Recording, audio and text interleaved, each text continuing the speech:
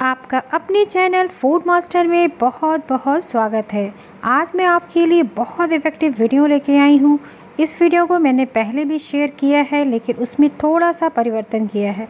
इस वीडियो पे इतने सारे कमेंट्स और इतने प्यारे प्यारे से कमेंट्स आ रहे थे कि इस रेमेडी को लेने के बाद पुरानी से पुरानी कब्ज की समस्या भी जड़ से ख़त्म हो गई। उनके स्टूल्स जो हार्ड थे, बहुत पुराने वर्षों से परेशान थे। पाइल्स, फिशर, फेस्टुला जैसी बीमारियों में उन कॉन्स्टिपेशन को भी ये दूर कर देता है। बहुत इफ़ेक्टिव रेमेडी है। ये ऐसे पेशेंटों के लिए जो कब्ज के पेशेंट होते हैं, जिनकी वजह से उन्हें पाइल्स, फिशर, फेस्टुला जैसी बीमारी है, उनके लिए रामबाड़ औषधि है। तो चलिए वीडियो स्टार्ट करते हैं। वीडियो को स्टार्ट करने से पहले छोटी सी रिक्वेस्ट करना चाहती हूँ कि प्लीज़ चैनल पर पहली बार आए हैं तो सब्सक्राइब करके बेल के आइकन को दबा के नोटिफिकेशन ऑन कर लीजिए, जिससे आपको तुरंत ही नई वीडियो का नोटिफिकेशन मिल जाए। ये देखिए, जो चीज़ है ना, ये कब्ज के लिए रामबाड़ चीज़ है। बहुत इफ़ेक्टिव सी मेडिसिन है, जिसे हम कहते हैं अंजीर। अंजीर पुराने से पुराने कॉन्स्टिपेशन के पेशेंटों के लिए दवा की तरह काम करता है। इसके अलावा जो मुनक्का होता है, ये भी अगर कब्ज के पेशेंट हैं तो उनके लिए दवा की तरह काम करता है। इसके अलावा किशमिश, ये तीन चीज़ ऐसी चीज़ हैं जो कब्ज को पूरी तरह से काट देते हैं।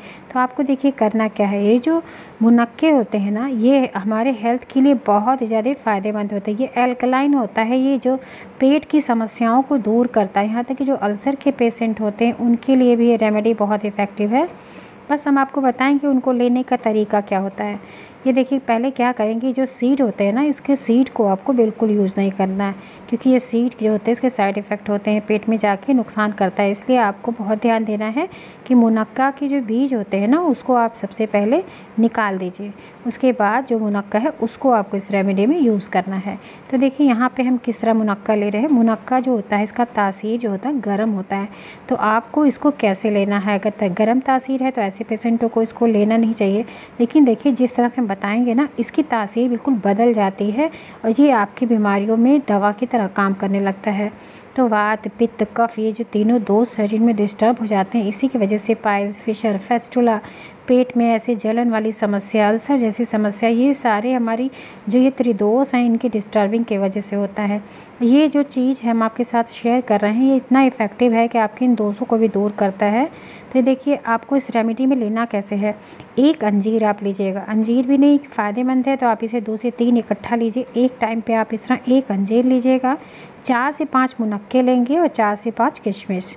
बस इतना ही आपको एक बार के डोज़ में लेना है। ज़्यादा मात्रा में नहीं लेना चाहिए, नहीं तो इसके साइड इफ़ेक्ट होने लगते हैं। तो एक टाइम के लिए देखिए, इसको आपको दूध में पकाना ये रात के लिए रेमेडी है। रात में जब सोते हैं ना, अगर आप इस तरह से बना के दूध को पियेंगे और लगातार बिना गैप किए हुए अगर आप सात दिन ऐसे पी लिए तो आप देखेंगे पुरानी से पुरानी, कितनी भी पुराने बीस साल पुरानी कब्ज की वजह से आप परेशानी में जूझ रहे हैं। जो स्टूल्स पास आउट होते समय जो इतना दर्द तकलीफ़ होता है ना वो आपकी पूरी तरह से दूर हो जाएगी। ये आपको बहुत इफ़ेक्टिव लगेगा। तो देखिए आपको लेना कैसे है? एक एक गिलास आपको बनाना है तो डेढ़ गिलास के करीब दूध लीजिए। तो यहाँ पे आधा लीटर का दूध था। ये देखिए इसको हम इसमें डाल दिए हैं। इसमें जो आपने लिया है इंग्रेडिएंट यानी मुनक्का, किशमिश, अंजीर, इन तीनों चीज़ों को आपको इसमें ऐड कर देना है। तो सबसे पहले दूध को बॉयल हो जाने दीजिए। एक बॉयल आ जाएगा, एक बार उबाल आ जाए तब डालेंगे। देखिए, अभी हम आँच को बढ़ा दिए हैं जिससे उबाल आ जाए तुरंत, क्योंकि अगर हम पहले डाल देते हैं ना तो कभी ऐसा होता है कि जो किशमिश होता है, मुनक्का होता है, ये थोड़ा खट्टा भी होता है, टेस्ट में आप खाए होंगे तो पता है। तो अगर ऐसे कच्चे दूध में हम डाल देते हैं तो कभी कभी ऐसा होता है दूध फट जाता है। तो आपको सबसे पहले एक बार दूध को उबाल देना है, अच्छे से उबल जाए। तो अब देखिए, इसमें उबाल आने लगा है, तब हम इसमें देखिए डाल दे रहे हैं। हल्का उबाल देखिए, आना स्टार्ट हो गया। तो अब आप इसमें दूध डाल दीजिए। ये जो मुनक्का, किशमिश और अंजीर लिए हैं इस तरह से डाल दीजिए। देखिए, आप पाँच से छः किसमिस लीजिएगा, इसे ज़्यादा नहीं लेंगे। मुनक्का भी जैसे बताया है चार से पाँच ही मुनक्का एक बार में डालिए और एक अंजीर डालिए। अब क्योंकि ये तीनों चीज़ डाल रहे हैं तो अब आप से एक अंजीर डाल रहे हैं। अगर आप इसमें से किशमिश मुनक्का नहीं डालते हैं तो आप दो से तीन अंजीर इसमें, सिर्फ़ अंजीर में ही बना के भी पी सकते हैं। ये तीनों चीज़ डालना चाहते हैं तो पीजिए, ये हेल्थ के लिए बहुत फ़ायदेमंद है।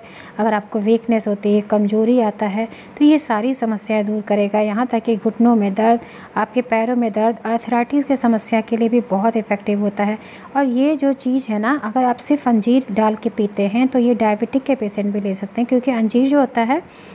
नेचुरल स्वीटनेस इसमें होता है। ये शुगर का जो मात्रा होती है, वो उसमें इस तरह की नहीं होती है जो शुगर पेशेंटों को नुकसान करता है। आप चाहे तो अपने डॉक्टर से कंसल्ट कर सकते हैं कि अंजीर आप डाल के दूध में पी सकते हैं कि नहीं।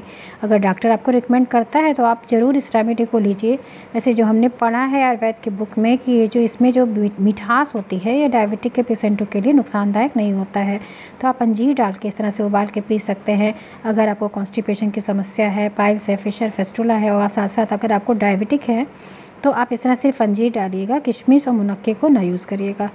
और आप एक बार डॉक्टर से ज़रूर पूछ लीजिएगा, उसके बाद ही करिए, क्योंकि आपका शुगर लेवल किस स्टेज पे है या आपका डॉक्टर आपको सही से बताएगा। तो ये देखिए, इसको उबाल आने देंगे तो जब ये उबल जाता है ना ठीक से तो अंजीर जो है मुनक्का, ये ऊपर आने लगता है। जो अंजीर है, ऊपर फ्लो करने लगेगा। ऊपर के सतह पे ही तैरने लगता है, फूल जाता है पूरी तरह से। तो इसको आपको आँच को देखिए, हमने कम पे कर दिया है तो इस तरह धीरे धीरे इसे कम से कम पाँच से सात मिनट धीरे धीरे उबलने दीजिए। डेढ़ गिलास दूध डाले हैं, एक गिलास दूध आपका बच जाएगा, तब तक इसे उबलने दीजिए। यानी इसको पकाने के लिए आप पाँच मिनट के लिए आँच को कम पे करके अपना इसे धीरे धीरे उबलने दीजिए, दूसरा कोई काम करिए। रात में जब आपको खाना खाने के बाद दो घंटे बाद सोते हैं ना, तब आप इस रेमेडी को लेंगे। तो जब खाना खाते हैं, उसी टाइम पे दूध को रख दीजिए, इस तरह से अच्छे से पक जाए। और जब सोना हो तो आप इसको हल्का सा गुनगुना करके इसे पियेंगे। और अभी आगे हम आपको बताएँगे और दो चीज़ ऐसे डालेंगे ना कि जो पाइस फिशर फेस्टोला के पेशेंट होते हैं, नसों में सूजन और दबाव ये जो सारी परेशानी होती है, उसको भी पूरी तरह से दूर करेगा। अभी पूरा वीडियो ध्यान से देखिएगा, आप इसके बिल्कुल नहीं करेंगे, जिससे आपको एक एक स्टेप पता चल जाए इसको बनाने का तरीका, इसको पीने का तरीका सब कुछ आपको इस वीडियो में मिलेगा। अगर आप एक बार पूरे इंस्ट्रक्शन के साथ इस दूध को बना के इस तरह से पियेंगे ना तो गारंटी दे दें हंड्रेड परसेंट आपको इससे पूरा इसको आपको लाभ मिलेगा। क्योंकि इस पर जो कमेंट्स आए थे, बहुत सारे कमेंट्स हैं ऐसे कि जिससे उनके स्टूल्स जो बहुत पुराने हार्ट थे उनकी समस्या पूरी तरह से दूर हो गई। तो आप इसे ज़रूर ट्राई करिएगा क्योंकि आप जो पाइल्स फिशर फेस्टोला के पेशेंट होते हैं, उन्हें सबसे बड़ी प्रॉब्लम ही होती है कॉन्स्टिपेशन जिसकी वजह से आपको बीमारी होती है। तो आप देख रहे हैं अंजीर किस तरह से फूल के बिल्कुल डबल हो गया है। और आप देखिए ऊपर की तरफ़ कैसे फ़्लो करने लगा है मुनक्का और अंजीर। बस ऐसे ही ये पूरा ऊपर फ्लो करने लगे और ये सॉफ्ट हो जाए, तब आप गैस को देखिए हम बंद कर दिए हैं और इस ये जो मलाई ऊपर आ गई है ना, इस मलाई को निकाल के तब आप दूध पीजिएगा। अभी थोड़ा ठंडा हो जाएगा तो इसमें और भी मलाई ऊपर से आ जाती है तो उस मलाई को आप निकाल दीजिए क्योंकि इसमें फ़ैट होता है। फ़ैट जो होता है ये आप कॉन्स्टिपेशन को बढ़ाने का काम करता है तो फ़ैट आप मत यूज़ करिएगा, इसको रिमूव कर दीजिएगा, उसके बाद जो दूध बचेगा वो आप पियेंगे तो थोड़ा सा नॉर्मल हो जाने देते हैं क्योंकि अभी बहुत गर्म है, इतना गर्म दूध पिया भी नहीं जाएगा थोड़ा सा नॉर्मल हो जाने देते हैं। फिर हम आपको आगे बताते हैं कि इसमें और क्या दो चीज़ हम ऐड करने वाले हैं, जिससे ये बायस फिशर फेस्टोला की बीमारी को पूरी तरह से ठीक कर देगा। बहुत इफ़ेक्टिव है, ये आप इसे करेंगे, आपको बहुत बढ़िया रिज़ल्ट मिलेगा। तो चलिए इसको थोड़ा सा नॉर्मल हो जाने देते हैं। देखिए नॉर्मल हो गया है तो जब नॉर्मल होता है ना, ऊपर से हल्की से मलाई आ जाती है तो उसको भी थोड़ा सा रिमूव कर दिए हैं। अब आप क्या करिए, ये जो अंजीर है, मुनक्का है, किशमिश है, इसको एक अलग बाउल में ट्रांसफ़र कर लीजिए।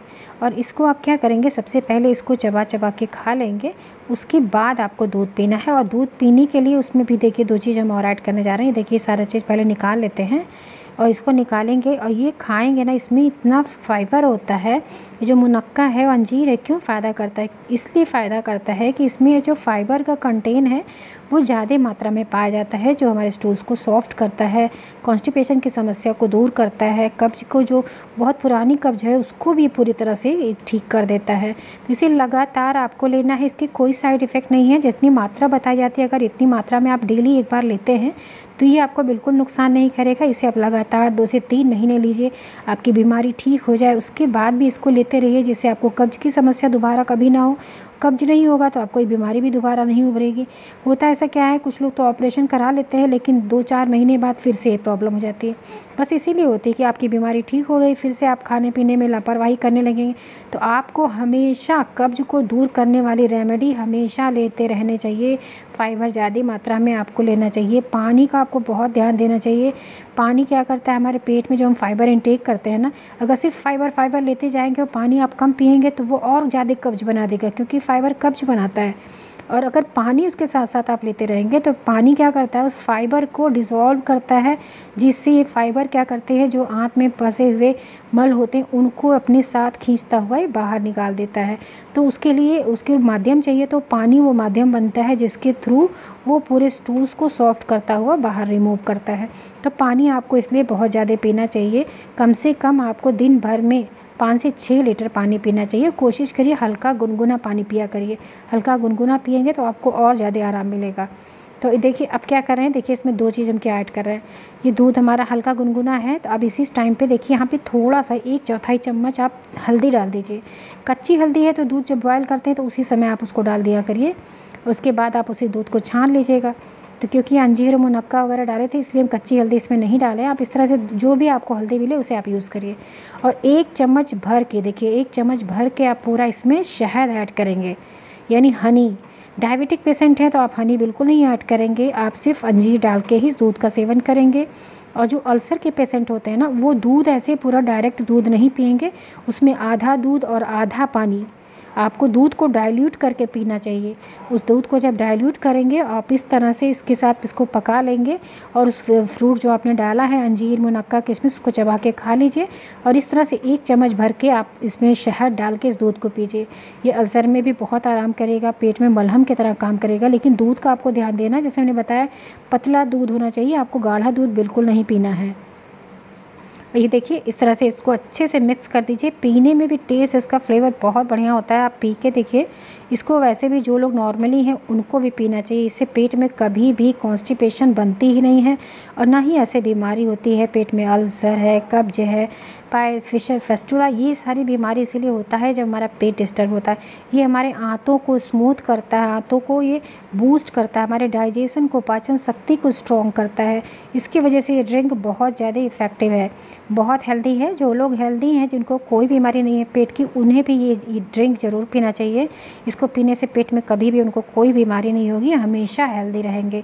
और इससे आपके जब पेट सही रहेगा तो आपको कोई ऐसी बीमारी भी नहीं होगी। तो बहुत ही बढ़िया सा ड्रिंक है। इसे आप पीजिए और इसको इंजॉय करिए। और इसे आप दूसरों के साथ शेयर ज़रूर किया करिए क्योंकि बहुत सारे लोग हैं जिन तक ये वीडियो नहीं पहुँच पाती है क्योंकि कुछ लोग देखते हैं कुछ लोग नहीं देखते हैं। तो आपको इसको देखने से अगर लगता है कि वीडियो बहुत इफ़ेक्टिव है लो, लोगों के साथ पहुँचना चाहिए उनके पास तक पहुँचना चाहिए तो आप उनकी भी हेल्प करेंगे और साथ साथ जब आप मेरे वीडियो शेयर करते हैं ना तो हमें बहुत खुशी होती है कि हमारे व्यूवर्स हमारे बारे में भी ध्यान देते हैं। क्योंकि चैनल देखिए अभी बहुत छोटा है अभी हमारे साथ रिसेंटली कोइंसिडेंट हमारे साथ एक केस हो गया था, आपको शायद पता होगा कि ये जो हमारा चैनल है हैक हो गया था। इसके बाद से हमारे आप चैनल को देख सकते हैं, बहुत स्लो चैनल हो गया है। तो आप हमारी हेल्प करिए जिससे हमारा ये फैमिली जो है, थोड़ी बड़ी फैमिली बन सके। बहुत मेहनत करते हैं वीडियो बनाने के लिए, दिन रात एक करके इसको बनाते हैं। और घर में भी बहुत सारे काम रहते हैं, उसके बाद भी हम आपके लिए टाइम निकालते हैं। डेली बेस पे हम वीडियो डालते हैं, आप देख सकते हैं। तो हमारे मेहनत को भी ध्यान दीजिए, आप इसे ज़्यादा से ज़्यादा शेयर करिए लोगों के साथ, जिससे उनकी भी हेल्प हो और मेरी भी हेल्प हो। और आपको वीडियो पसंद आई है तो अपने लाइक ज़रूर दीजिएगा, क्योंकि जब आपके लाइक आते हैं तो बहुत खुशी होती है और आप कमेंट्स करते हैं तो आपके सवालों का जवाब देने में बहुत खुशी होती है। तो अपने कमेंट्स में ज़रूर बताइएगा कि अगर आप इस रेमेडी को यूज़ करते हैं तो आपको इससे कितना हेल्प मिलता है, कितना लाभ होता है। और कॉमेंट्स में सुझाव अपने दीजिएगा और वीडियो को लाइक करना बिल्कुल मत भूलिएगा, क्योंकि आपके लाइक से मोटिवेशन होता है जिससे हम आपके लिए और अच्छी अच्छी वीडियोज़ बना के लाते हैं। कोई क्वेश्चन है, कोई क्यूरी है तो ज़रूर पूछिएगा, हम आपके सवालों का जवाब देंगे। इसी के साथ बहुत बहुत धन्यवाद। Thank you. Bye bye. Take care.